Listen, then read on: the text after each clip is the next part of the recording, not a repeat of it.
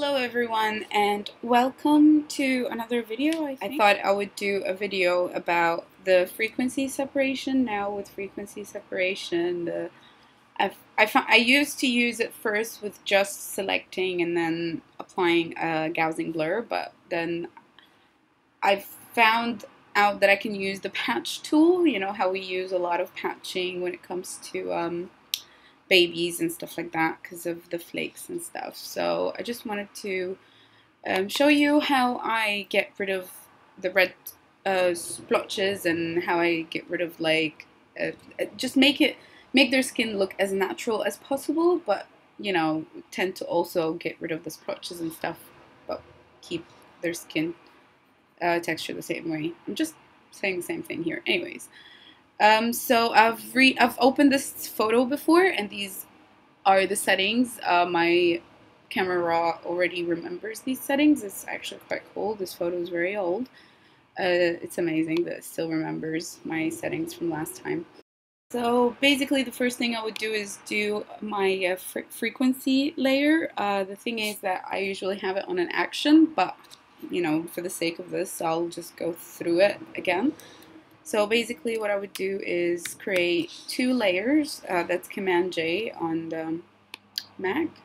Uh, you know, make this one uh, invisible. This one is visible. So then go to Filter, uh, Blur, Gaussian Blur. Uh, you can skip this part if you already know how to um, create something like this, how to create a frequency separation, or you can, you know, go ahead and watch it in another video. There are it's the same way basically, but for the sake of this, I'm just going to do it. Um, so what we are planning to do here is just try and keep, try and blur away these reds and try and blur away those little bits that we don't want showing. Um, don't overdo it, obviously. Um, try to, um, you know, be uh, sensible. I think this is not so bad. So I'm just going to um, just this looks good to me I think. So I'll just press OK. And I'll make this layer visible right here and then go to image apply image. And I'm going to choose the layer underneath it where we have our blur which is layer 1 and then subtract it. See you can tell here that I can see the actual um, the lines that the, the nose. I can, I can see things like that, which is great because that's our, um, you know, that's our skin texture. And the scale here and offset are 22128. And just click OK. So it's not going to have, well, we can't work with it like that, so we're going to have to change it to um, linear light. So that brings it back. Uh, make a group out of this um, out of these two layers, group from layers, call them FS, frequency separation, whatever. And then open it up. This is the uh, layer that we're to be working on. So go ahead and press J for um, our patch tool.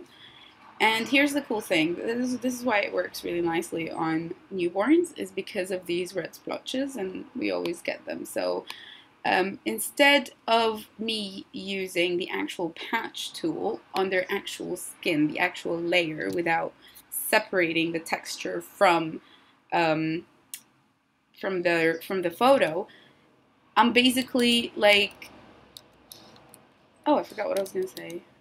Never mind. But can you tell, like, see how if I zoom in, you can still actually see there are little bits of um, skin and these little marks of how their skin works, which is great because if I simply just use the patch tool, it's just for argument's sake, um, go ahead and do this, the whole skin has been changed. Like the whole actual skin texture has been changed. It's not as see he's got little bits of fluffy hair here and it's like in a circular.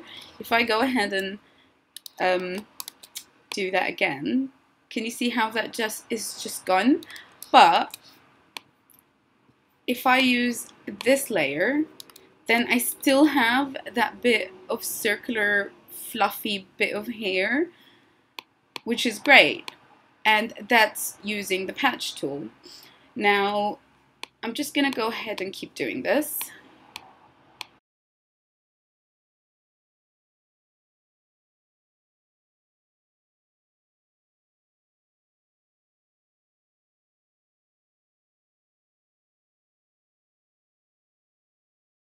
Obviously after you finish your cleaning up, look, that's just like amazing.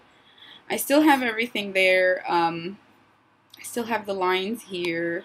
So after I finish with my frequency, I would um, get rid of the red bits on the skin. So I would just go onto one of my actions that I use. I use the um, newborn um, actions from uh, G2G. Uh, I use their um, newborn one. Um, you can use any type of action. I'm not really fussed at this point. So just paint it off. Um, opacity 34 or less really depends on your eyes and how red the baby is. Um, obviously you got to be careful because this will make baby a bit purple. Um, so maybe not do it too much or if you've also got an action to, you know, fix the purple or paint back the skin, that's also fine. So I'm just to get rid of the two, the redness here as well.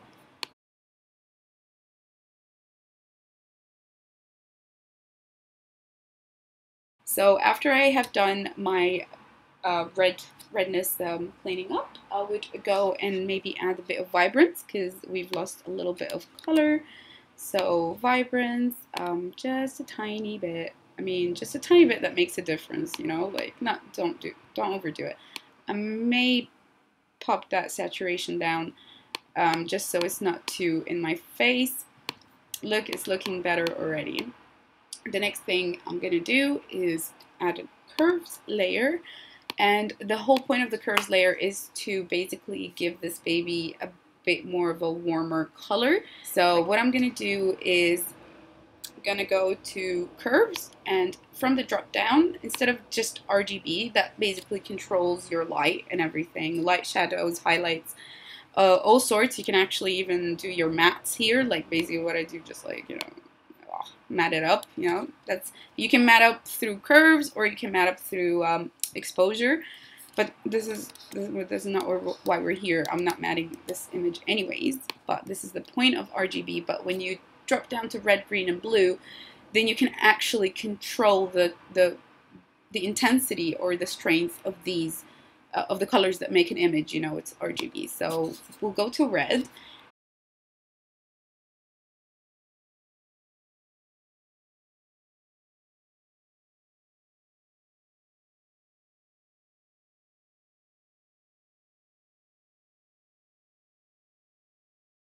so that's better. Um, and then yeah, I think that should be it. Um, let's see the before and after. If you would like to go ahead and you know edit the skin, I usually just use portraiture. You can go ahead and use any um, uh, skin retouching action that you have, like the newborn ones from G2G or um, the LSB ones. And please let me know if this helped you out. I, I love it when these things actually help out. I don't really do a lot of videos of editing and stuff like that. So I when I do is something that I actually feel very passionately about, something that actually helps with my editing. And you know that's it. It's done. You can just have your frequency separation as a batch. I'm not sure why the curves became an actual topic in this video although it's not. Anyways thank you so much for watching and bye